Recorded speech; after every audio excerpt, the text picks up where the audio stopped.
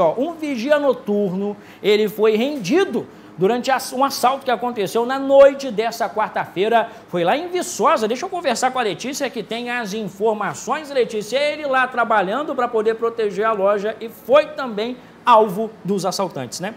Boia, foi isso mesmo. Segundo a Polícia Militar, esse vigia, ele trabalha em uma empresa que presta serviços para a CEMIG, que é a Companhia de Energia Elétrica. Ele estava trabalhando, como você disse, e aí os suspeitos chegaram armados e encapuzados e renderam esse vigia. De acordo com a Polícia Militar, parte desses suspeitos mantiveram esse vigia em uma sala, enquanto o restante dos suspeitos eram cinco homens Parte desses suspeitos mantiveram esse vigia em uma sala e parte deles rodava ali pelo local, né? Eles ficaram rodando ali pelo local, procurando por objetos de valor.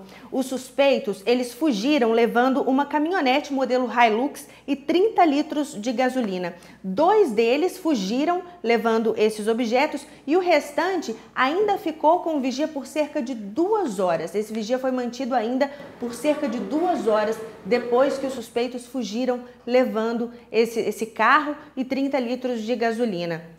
Segundo a Polícia Militar, provavelmente esse vigia foi mantido por todo esse tempo para dar tempo aos suspeitos na fuga para que então eles não fossem encontrados e até o momento eles não foram encontrados, mas a polícia continua buscando por eles. Qualquer atualização, a gente volta aqui e fala desse assunto. Você imagina a pessoa trabalhando, né, Letícia? E a mantida refém duas horas, que deve ter parecido semanas para quem está ali numa situação que não sabe o que, que vai acontecer com a própria vida.